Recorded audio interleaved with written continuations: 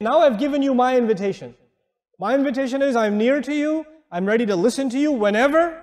Even if you haven't made dua except only one time, I'll still listen to you. Doesn't matter if you have no other good Islamic qualities except dua, I'll still listen to you. What should you do though? This is what Allah is doing for you. What should you do for Him? He says, فَلْيَسْتَجِيبُوا لِي The other word, remember there was ajaba and istijaba. Istijaba also means to try to answer. Somebody says, brother, I want to have lunch with you. I say, I'll try to make time. I don't know if I can do it, I'll try. Trying means maybe you will succeed, maybe you will fail. Allah says, فَلْيَسْتَجِيبُوا لِي They should at least try to answer me. You are asking things from me, Allah says. You're asking me for a better job. You're asking me for health.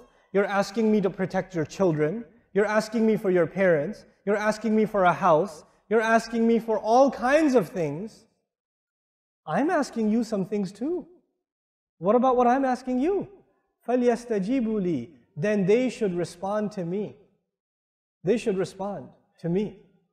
Now the, the thing is, in the Fatiha, in Surah Al-Fatiha, what do we want from Allah in Surah Al-Fatiha? Anybody know? We want guidance. But what does Allah want from us, ibadah? Iyaka na'budu wa iyaka nasta'inu. Nasta'in means we want help. But before we ask Allah what we want, we tell Allah what we will do for Him. What will we do for Him? Iyaka na'budu. What will He do for us? Isti'ana. He'll help us. So what you do for Allah should come first.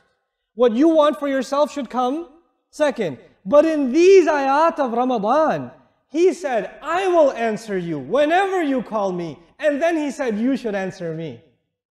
He didn't say, you should answer me, then I will answer you. Subhanallah. He even put Himself second and you and me first in these ayat. He put Himself second. فَلْيَسْتَجِيبُوا لِي وَلْيُؤْمِنُوا بِي They should respond to me they should have real iman in me. They should really believe in me.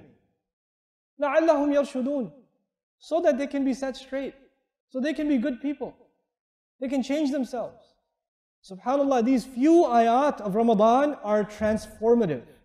They can completely change the way you think about this month. If we reflect just on these ayat, the relationship you are going to have with the Quran, the relationship you're going to have with dua, the relationship you will have with Allah after Ramadan is done. These are the things you have to internalize.